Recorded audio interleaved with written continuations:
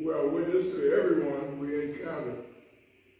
Little children, adults, people like us, and people not so much like us sisters and brothers in God's family. As we continue our worship service, let us pause for our morning prayer.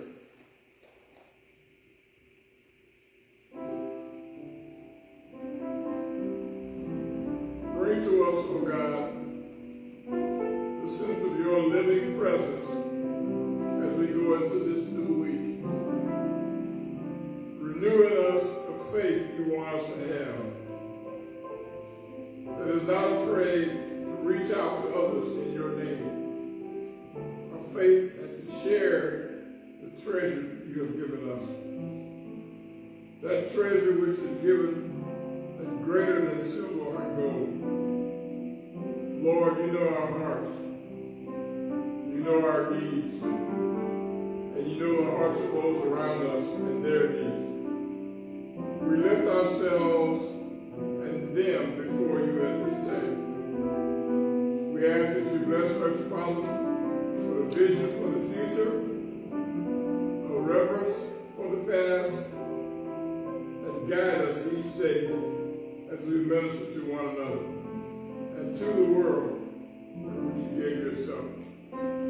Each and every day, we ask you to bestow your blessing upon us. Hold us tightly in the palm of your hand. In Jesus' name we pray. Amen. Amen. I would like to invite the praise team to come now and continue our worship service in favor of this selection.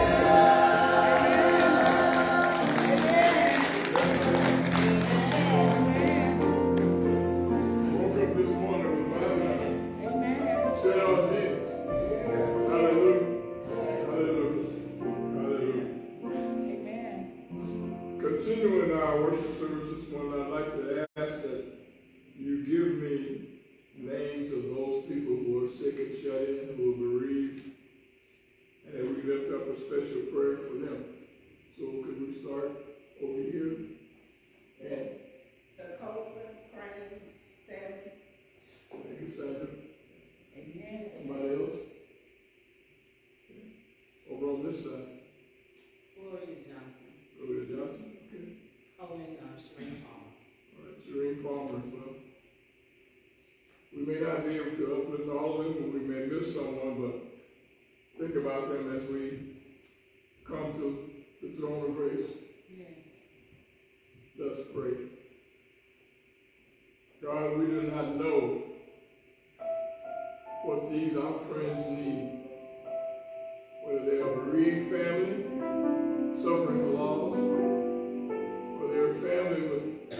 loved ones who are ill and not able to be here this morning. We ask that you lift them up where they are down. Strengthen them at the broken places. Let them know that you are God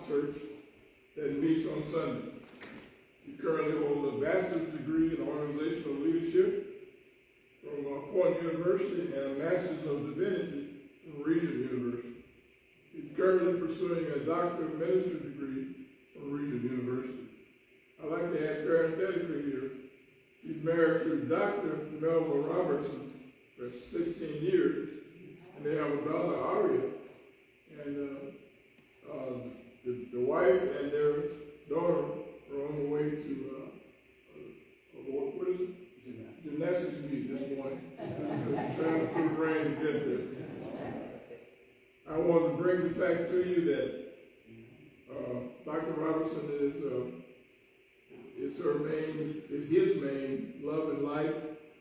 But I want you to also notice that I put down he's also working on his doctorate. So there'll be two doctors in the house pretty soon. Amen. The next voice you hear after the morning worship uh, brought by the praise team will be that of Reverend Derico Robertson. Mm-hmm.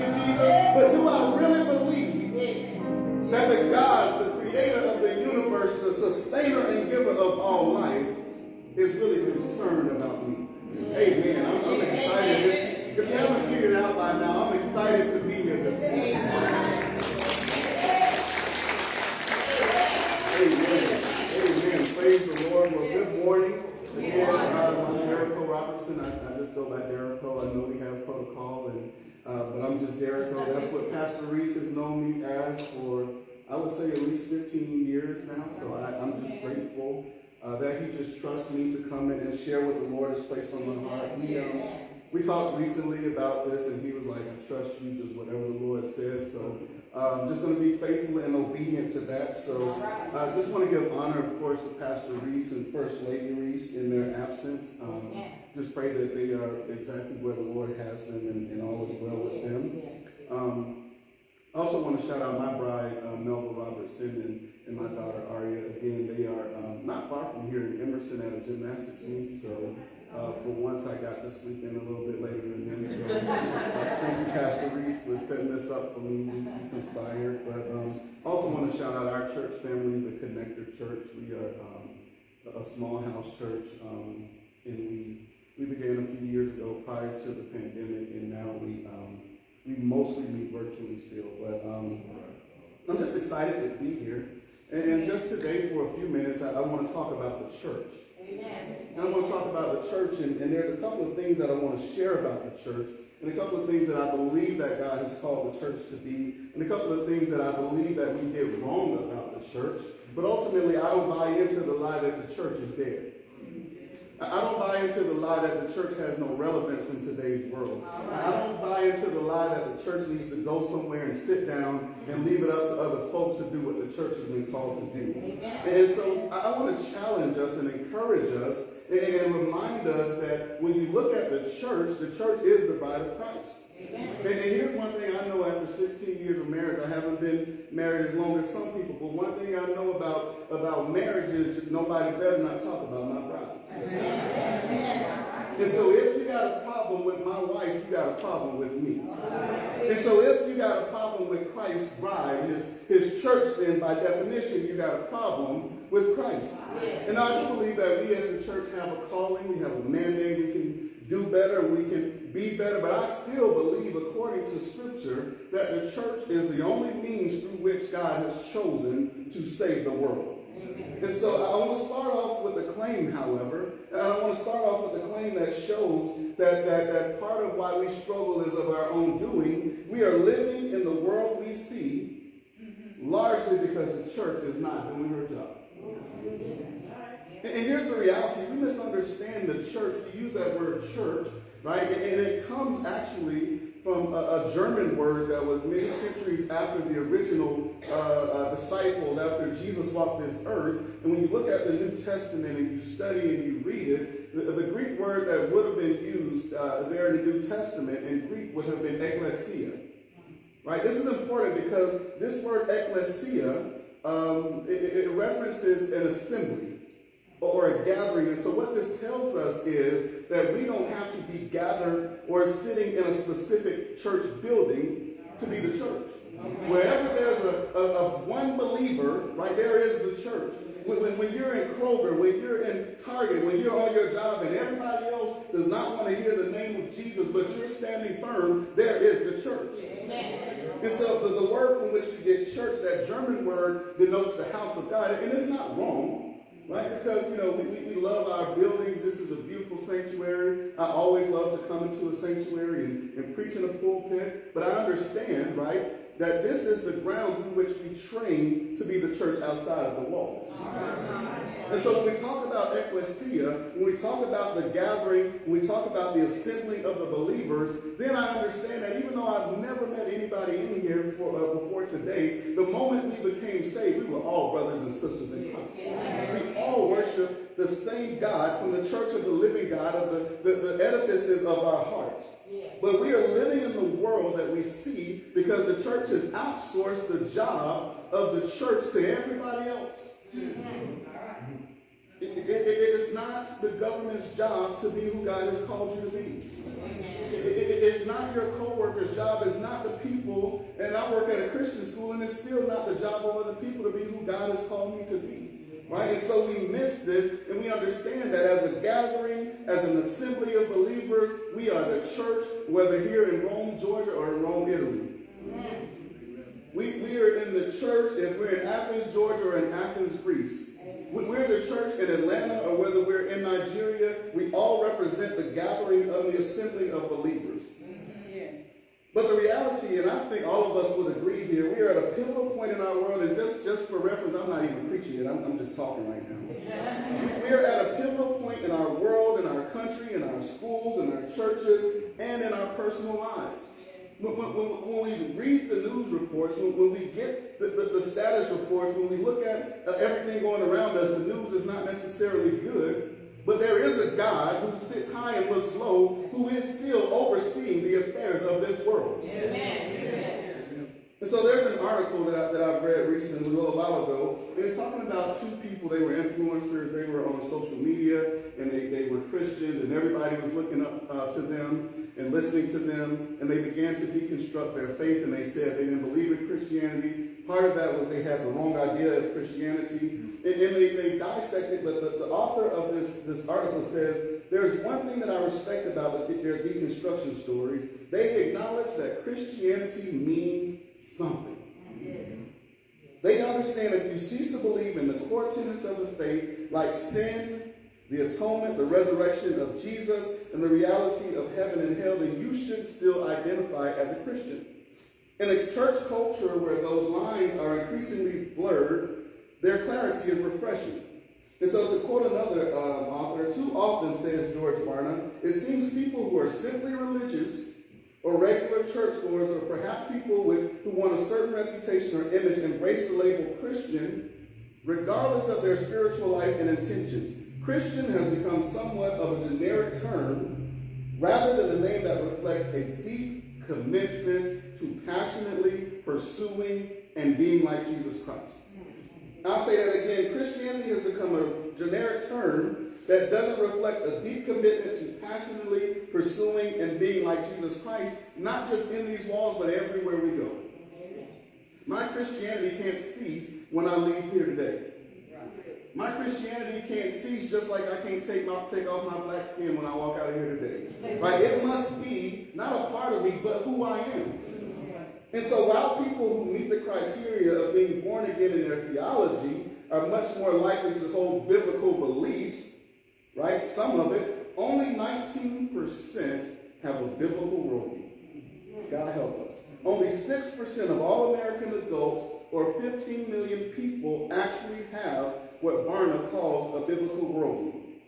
And so today I just want to I just want to talk about the church. And, and in talking about the church, I think it's necessary to go back to a, a book that speaks about and to and through and for the churches, right? Past, present, and future, and eternally. And so our text today will come from Revelation chapter 3.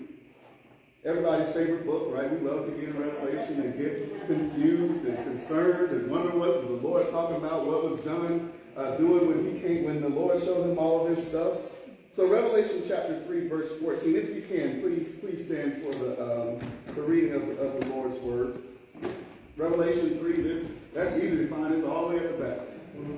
If you go, just go to the very last book, you're there. So chapter 3, verse 14. To the angel of the church in Laodicea write, These are the words of the Amen, the faithful and true witness, the ruler of God's creation. I know your deeds, that you are neither cold nor hot. I wish you were either one or the other. So because you are lukewarm, neither hot nor, nor cold, I'm about to spit you out of my mouth. Now in, in my Bible, this is in red letters, so we know who's saying this. Right? We, we don't have to wonder who's talking here. This is Jesus. He says, You say, I am rich, I have acquired wealth, and do not need a thing, but you do not realize that you are wretched, pitiful, poor, blind, and naked.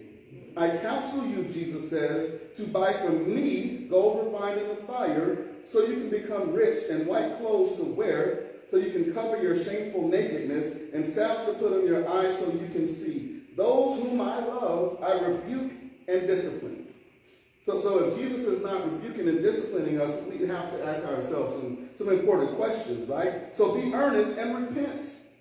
Here I am, I stand at the door and knock. If anyone hears my voice and opens the door, I will come in and eat with him, and he with me. To him who overcomes, I will give the right to sit with me on my throne. That, that's a hallelujah right there. Just as I overcame and sat down with my Father on his throne, he who has an ear, let him hear what the Spirit says to the ecclesia. Uh, let's pray. Dear Lord, we just thank you for this day. We thank you for this moment. We thank you for your spirit. Lord, we thank you for your church, the means through which you transformed and transform the world. We pray for this message to just be what you called it to be, Lord. Let, let everyone see your spirit and, and me just be a vessel. Um, it's in your son Jesus' name that we pray. Amen. You may be seated. Now, uh, a, there's paint a picture here, right, just to give us some background. So, Revelation, you know, we get caught up in all this imagery and all of these things. What, what, what does it mean with the with the the, the, the uh, beast and the dragon? What does it mean with the woman, with the child, who the beast and the dragon try to try to devour? What does it mean when it talks about the Antichrist? What are all of these things? And, and, you know, not to get into deep, but it just really depends on how you interpret Revelation. But ultimately, Revelation is a letter telling Christians to resist the world's temptation, to persevere, and to overcome.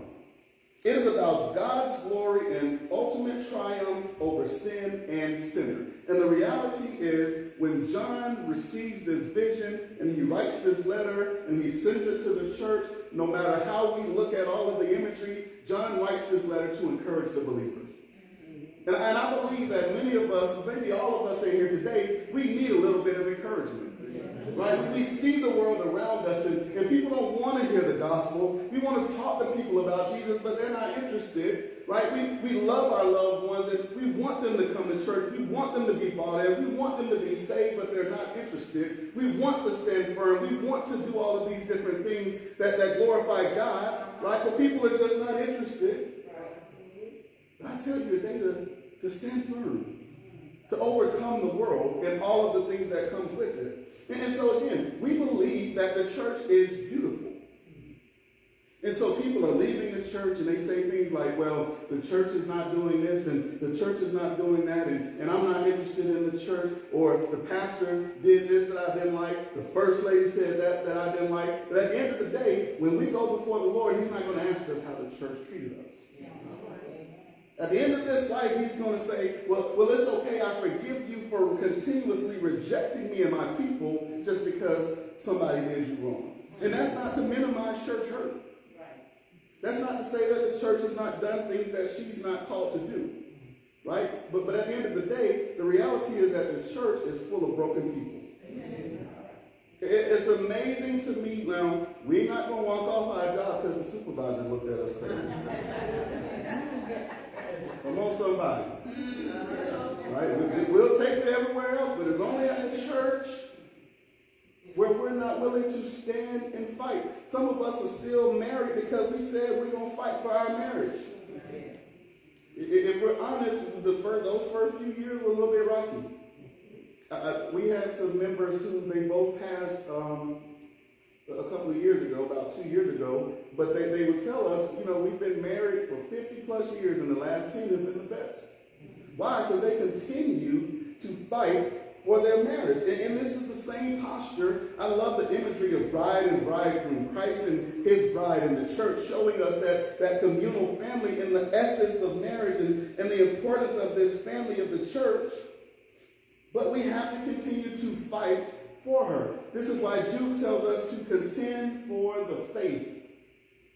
Right? And so we see here that this, this letter is designed to tell us to overcome. Revelation 1 and 3, I think, is one of the most important parts of Scripture, and it, and it shows why it's frustrating and unfortunate that we don't read this book It says, Blessed is the one who reads the words of this prophecy, and blessed are those who hear it and take it to heart what is written in it, because the time is near. Reading this is a blessing to its readers. And so in, in chapter 3, we begin where John addresses a couple of churches, right? The seven churches of Revelation. Now, there are more churches in these areas. Why? Because we understand it's the ecclesia, but he addresses them specifically. So, to the church at Ephesus, he says, I know your works, I know your labor, and I know your endurance, but you've abandoned your first love. So essentially, the church at Ephesus, they're doing all the church things. They're working, they're worshiping, they're, they're, they're, they're on fire for the Lord, they're doing his work, but they've abandoned him.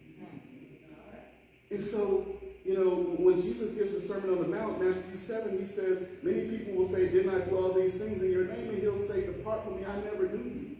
And so to the church at Ephesus, he says, Return to your first love. If we're not doing this for the cause of Christ, then what are we doing it for? To the church of Smyrna. That name sounds familiar to us. He says, I know your affliction and poverty. You've been beaten, you've been broken, you don't have anything, but you are rich. That, that's, that, listen, that don't sound right in my ears. We, we live in America, that just don't even make any kind of sense. But they're rich because of the goodness of God. He says, be faithful even to the point of death. To the church of Pergamum, he says, I know you live where Satan's throne is. But you are holding on and not denying your faith. He's like, you're doing some good things. You're, you're standing in there. You're fighting a good fight. You're strong. He says, but you tolerate food sacrificed to idols. And you tolerate sexual immorality. And you tolerate the Nicolaitans. That's a group of, of people who claim to be Christians who thought that because of the grace of God, they should just be able to live however they want to. He's like, you're doing some good things, but just doing some good things ain't good enough. Imagine being a halfway decent spouse. Mm-hmm. Imagine being a halfway decent parent. Imagine being a halfway decent employee. You're going to be halfway unemployed. Mm-hmm. Now you'll be fully unemployed, right? He says, no, I, I want all of you. And if we're honest with us, everyone in here, myself included, we struggle with giving it all over to God. And part of it is because we don't trust him. But part of it is we like what we like. We don't want to give it up. But he says, no, I don't want some of you. I don't want most of you. I want all of you. Right. To Thyatira, he says, I know your works.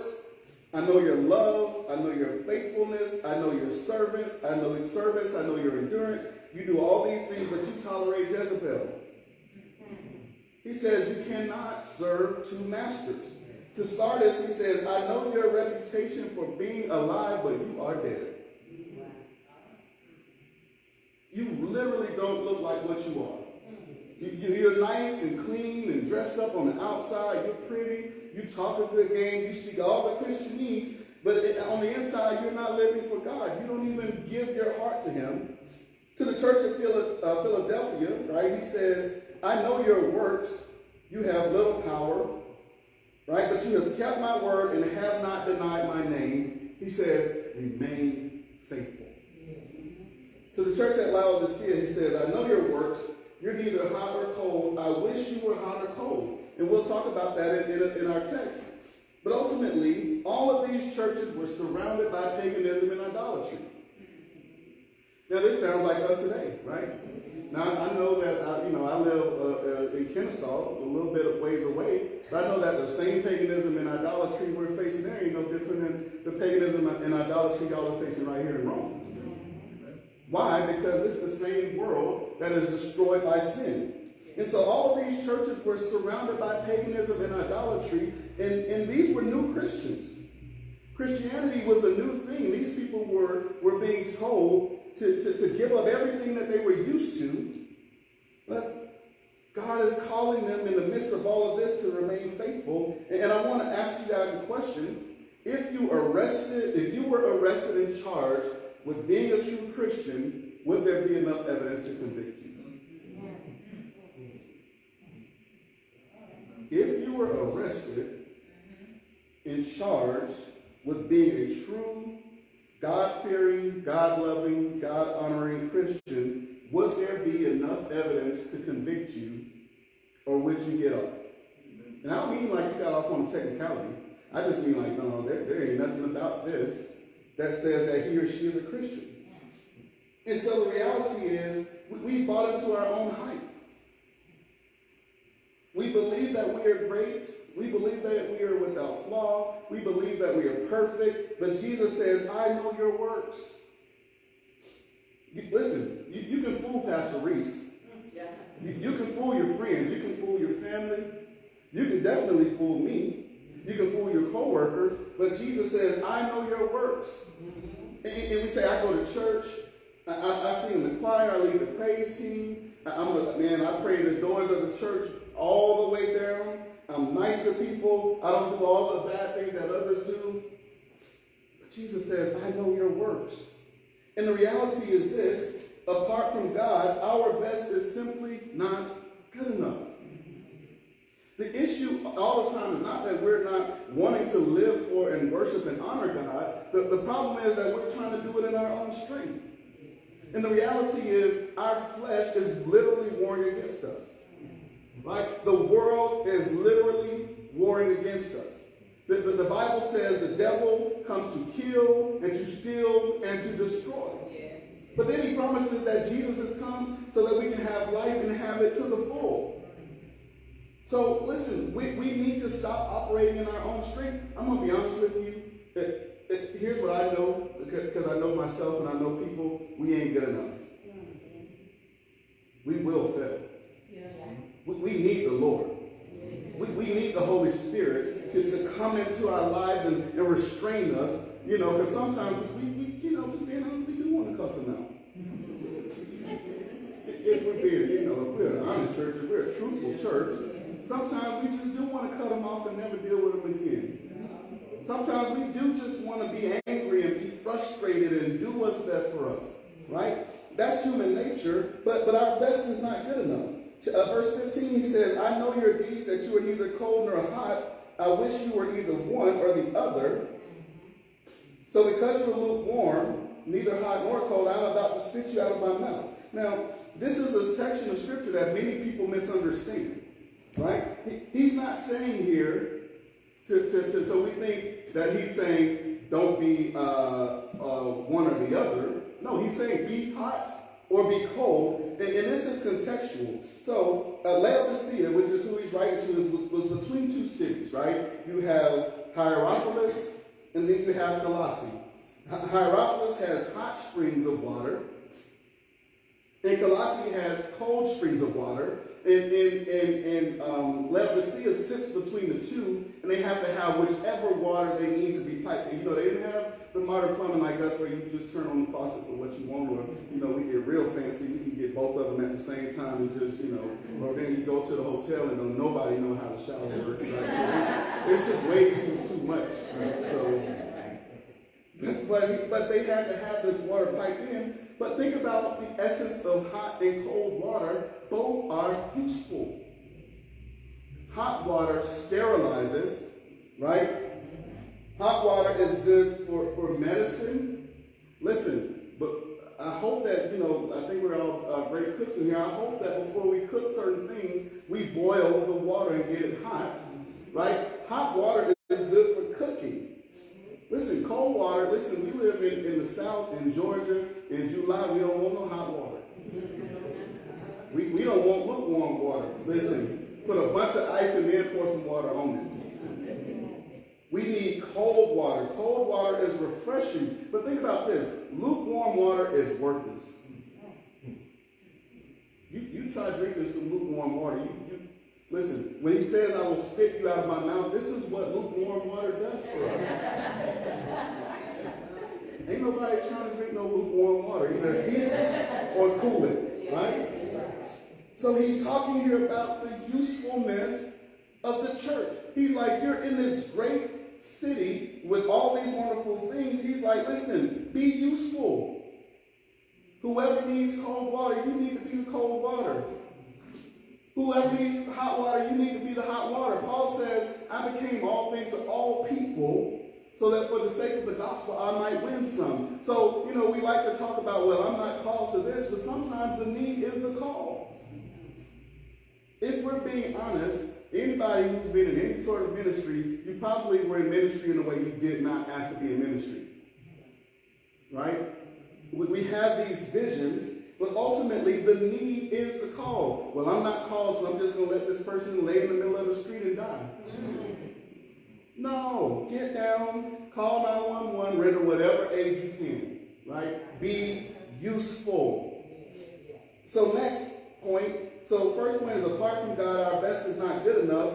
But second thing is our accomplishments are neither the most important nor the most definitive thing about us. Now we celebrate our accomplishments. We celebrate one another, but at the end of the day, when we go before the Lord, he's, he's not checking our FICO score. Right? He, he's not checking to, to see like how much money we left the bank account with. He, he's not checking to see how many great accolades we had on, on our lives, right? In verse 17, uh, uh, John, uh, Jesus tells John uh, to tell them, You say, I am a rich, I have acquired wealth, and I do not need a thing, but you do not realize you're wretched, pitiful, poor, blind, and naked. Now again, this is accurate to the people of Laodicea because Laodicea was known for its wealth. They had a very wealthy banking industry. They were so wealthy that in 62 AD, an earthquake leveled the city, and they rebuilt their entire city without any help from the government. They had some money, y'all. They, they didn't have no play money either. They had real money. They had what we would call um, wealth, right? They, they had what we would call generational wealth, maybe. But then they had a, a great clothing industry, right? They said that you, you have, uh, you don't need a thing. They had a great clothing industry, right? And so black wool, which was very, very, well, it still is, right? Very wealthy, very trendy, right? This is where it came from in, in their day. People all over the world who needed black wool, it came from Laodicea, right? So they were wealthy, they were trendy, but then it says that you were you're naked. You got the best clothes of the day, but you're naked, right? And then they had a medical school. So Laodicea was just like they were on. They had everything. They had a medical school, right? And and and they had eye salve. They created this eye salve for people who had eye issues that nobody else in the ancient world had. It came from Laodicea. But Jesus says, y'all are blind. Y'all are poor with all your money. Y'all are blind with all your eyes salve. Y'all are naked with all your black wool. He says, everything you need, you need to get from me, right? And, and, and so uh, they were forced to deal with the issue of emperor worship. People were worshiping the emperor. Well, here's one thing we know about Christianity. God tells us over and over, you can't have two gods. You can't have two masters. He, he, listen, God is like, I'm not going to beg you. Choose him. Just, just go, you know, to, to modernize it. Just go with, with old dude. Just go with, with old girl. I'm not chasing you. Right? But then God does not call us to be happy. He calls us to be holy. 18 and 19, I counsel you. Jesus says, I counsel you, right? Your, your counselor is somebody who gives you advice. Your, your counselor in, in, in attorney terms tells you this is what you need to do, right? I counsel you to buy from me gold refined in the fire so you can become rich. Like you play rich. You think you're rich, you're not actually rich. And white clothes to wear so you can cover your shameful nakedness and salve to put on your eyes so you can see. And so he's like, you got this idea. You, you, you think you, you're, you're hitting it out of the park, but you, you just like struck out three times in a row. on the same at bat. Figure that one out. But he's like, listen, this ain't, I'm not worried about your happiness and your contentment, although we find those things in Christ. Our identity is not in the things of this world. He's like, listen, you're supposed to be the church. Why are you the church and you out here looking like everybody else? What's the distinction between you and everybody else? How are people going to say, I need to come to Jesus for repentance, for restoration, for salvation, for the healing of my soul, for, for my future, for my eternity to be with God, if there's nothing different about the church? God is calling Christians to true repentance. That, that word repentance doesn't mean to just say I'm sorry. That, that word means that there is a heart transformation that leads to um, behavior transformation. Because we believe that God is good, because we owe him a debt of, that we can't pay, because Jesus paid for our sins on the cross, because of these things, I owe him my life. If he says it's a sin, it's a sin. Don't matter what the world has to say about it. He wants us to turn away from sin and turn to Him. And the reality is, if we're being honest, if we really think about the things that we want, the things that are sinful, none of them are better than what God offers. This is what He's telling us here. The essence of sin is that the world has offered us something that can never satisfy. But He says, uh, He tells the Laodice- uh, to the Laodiceans, God was not their source of happiness. We must avoid being the Laodicean church. We must avoid placing everything and everyone else in the sinfulness of our heart above God. We must be useful. We must buy, uh, we must go to God as the source in our, of our contentment and our strength. But gold is refined in the fire to drive out impurities. Gold is put into fire to get rid of impurities, and they have to heat it up very hot to the point that it melts. So that's over a thousand degrees.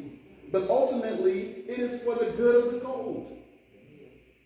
But then white clothes in the Bible, especially in Revelation, signify purity.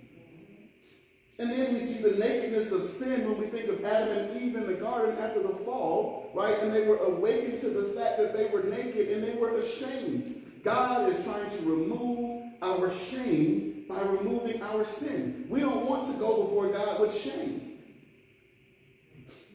But then the salve that Jesus gives helps us to clearly see the truth. And so the next point, and I'm almost done, I'm almost out of here. Uh, see, Jesus does not call us to be scholars, he calls us to be saints.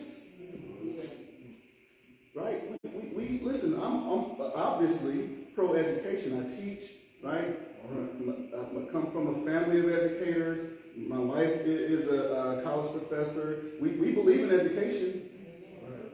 I'm not anti-education, but at the end of the day, Jesus does not call us to be scholars. And part of the reason why we struggle with this faith is we believe that you have to have some advanced Bible degree to, to be in this word. And, and because we don't have the advanced Bible degree, we believe that we only can rely on those who do have the advanced Bible degree. But then I'm reminded of, of the words of Luke, and actually he says that the Berean church was more honorable than the Thessalonican church because they went back every day and studied for themselves to see if what Paul said was true. If y'all wonder which Paul, I'm talking about the Paul. That Paul, right? We don't have to be scholars to get into and understand this word. And in modern technology, they have everything to help us. He's calling us to be saints. Verse 20 says, um, Here I am, I stand at the door and knock. If anyone hears my voice and opens the door, I will come in and eat with him and he with me. We are invited to live in communion and share meal with the creator of the universe. Now, our favorite celebrity says, come eat dinner with me. We all on board. Our favorite author, our favorite writer, right? Whoever it is, we, we really enjoy it. They tell us to come eat with them and say, come hang out with me. We listen, we're all on board. This is what the creator of the universe has offered us. And so Jesus is calling worldly, compromising believers to repentance. And again, I'm talking to the church. Paul makes clear, he says, what business of mine is it to judge the unbeliever? Talking to the church, y'all. In case you haven't figured it out by now, this is about the assembling of the believers, gathering to glorify the God in heaven. So he's calling believers to return to him in full fellowship. In full fellowship. He wants it all. Last point, a successful life outside of God's will is a failed life. Hmm. 21. To him who overcomes, I will give the right to sit with me on my throne. I'm just reminded of the imagery of, of a child sitting in, in their, their daddy's lap or their mama's lap. Not caring the world. Nothing to worry about. Nothing to fear. Safe. Taken care of. Covered. All that they need. just as I overcame and sat down with my Father on his throne. He who has an ear, let him hear what the Spirit of God says to the churches. Jesus calls us to overcome the world, to overcome sin, and to overcome the spirit of compromise. And the beautiful thing about it is he's given us everything that we need. All we have to do is be faithful. John 16, 33, I have said these things to you that in me you may have peace. In the world you will have tribulation, but take heart, I have overcome the world. 1 John 4, 3 and 5. And every spirit that does not confess Jesus Christ is from God. This is the spirit of the Antichrist, which you heard was coming and now is in the world already. Little children, you are from God and have overcome them. For he who is in you is greater than he, the enemy, the Satan who is in the world. They are from the world, they speak from the world, and the world listens to them. 1 John 5, 4, for everyone who has been born of God overcomes the world. We're talking about the church, y'all. And this is the victory that has overcome the world, our faith. Not our arguing with people, not us telling people how they're wrong. There's a place for that. Not, not us putting our, ourselves on the pedestal, our buildings on the pedestal. We overcome the world through our faith. It is our faith that produces our ability to resist sin and to stand strong. He says, Who is it that overcomes the world except the one who believes that Jesus is the Son of God? The church is comprised of believers. The, church is not made up of a body of people sitting in pews. The, the ecclesia is not made up of a, of a, of a group of people who, who, love to come together to worship. It's not made up of people who, just believe that their responsibility is to, to fit a role or to, or to serve in a way. And all of those things are important. But at the end of this age, if we are not believers that Jesus is the Son of God, if we're not believers that God will judge the world, that he will eventually judge all mankind, and he will only save and deliver and have those in eternity with him who have called upon the name of Jesus, we will not be able to stand before him in judgment. In my prayer, brothers and sisters, who, who I, I haven't even met, but are my brothers and sisters in the ecclesia, my prayer is that when we go before God at the end of this life, that we will be found worthy to be with him and that he will say to us, well done. Not my, not my rich, not, not my smart, not my uh, uh, handsome, beautiful, although y'all are all that. my good and faithful servant. I have made you, you have been faithful over just the little things. God Almighty, I, I, I will make you ruler over many. Come and enter into this joyful rest. The world does not promise us that because the world can't give us that. So I want to encourage you, and the doors of the church are open. If this does not apply to you, this only applies to the believer. This only applies to the person who says, God, I yield, I give it all up to you.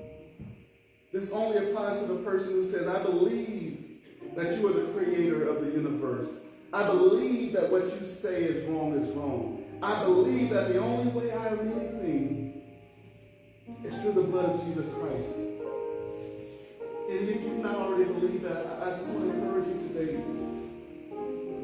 We don't know what will happen when we walk out these doors. We don't know what will happen before we walk out these doors. Life can change in an instant. And my prayer is that all of us will be found faithful. I don't want us to go through our lives believing that we're something like the Laodiceans. And we're not hot, we're not cold, we're not useful, we're not serving God. And he spits us out of his mouth.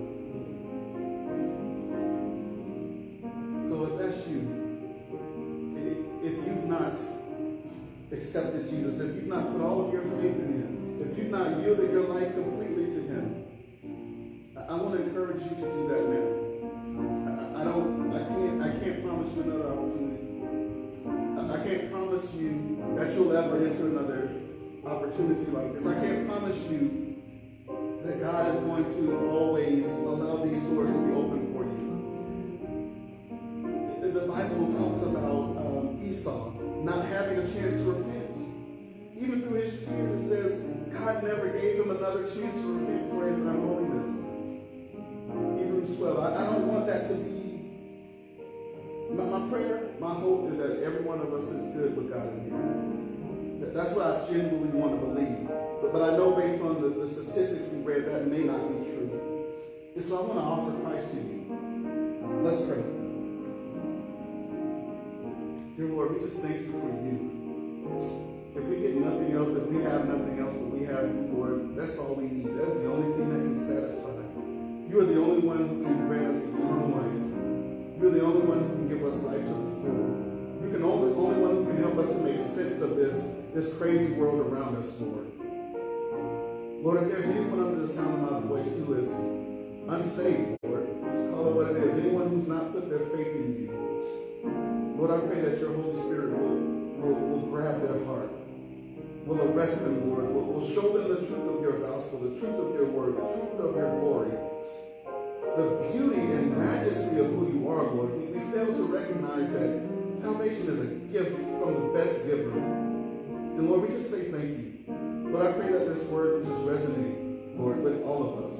I, I pray that it would renew our hearts and renew our minds and renew our spirits and challenge us to go out and tell a dying world about the Jesus who has died for sinners. Sinners like us, Lord, each and every one of us in here, who the only thing that matters about us is the fact that you have redeemed us. You have loved us with an unexplainable love. And so we just say thank you, Lord. We say thank you. We love you and we praise you. It's in Jesus' name that we pray. Amen.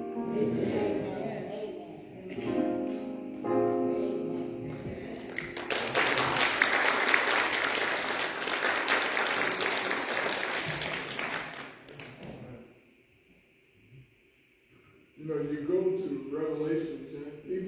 away from that book. It's scary.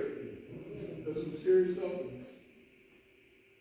But you can today tell your friends and neighbors, we had a word from God from Revelation. Amen. Thank you, sir.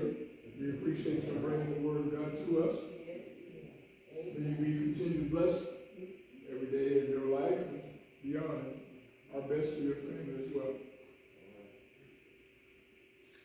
Ladies and gentlemen, we ask that you continue to contribute to Metropolitan in any way that you think is appropriate. We always need your time, talents, your treasure to help Metropolitan continue to thrive. So we ask that you pause just a moment to bless the offering. And you can do that offering dropping a check in the box in the back, giving it to one of the officers, or doing it electronically. As we say, sometimes you gotta be aware of the fact that salvation is free, but worship costs a little money. So you have to think, think about that and see what you're gonna do about it. Let us pray, Lord. Loving God, we come to you in thanksgiving, knowing that we are all and we have it all. And it's a gift from you. In faith and love, help us to do your will. We are listening, Lord God. Speak your words into the depths of our souls, that we may hear you clearly. We offer to you this day all the facets of our life, whether it be at home, at work, at school, on our jobs, to be patient, to be merciful, to be generous, to be holy. In essence, Lord, to be more like you. Give us the wisdom and insight to understand your will for us, and not only the understanding of your, your will, but, oh Lord, to never further forget our fervor in your life. We offer these gifts time, talent, and possessions as you have a true act of faith to reflect our love for you and our neighbors. Help us to reach out to others as you are our God and reached out to us. Amen. Continue to bless Metropolitan. We continue to ask that you pray for our church. We now know that the church is not this building. It's us. It's us. When we talk about the church, the body, body, body politic is the church politic. All of us, not the building. We thank you for joining us today.